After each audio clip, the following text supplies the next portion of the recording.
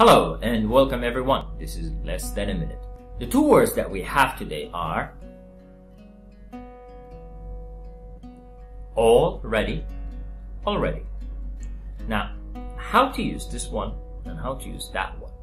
And are they the same? Let's try to understand them in a simple. We're all ready to go to the beach. We're all ready to go to the beach. So that means all of us are ready to go to the beach. The Second word. We've gone to the beach all ready. We've gone to the beach already. That means before. We've gone to the beach earlier. So already, all of us are ready. Already means before, something that happened earlier. So pay attention from spelling.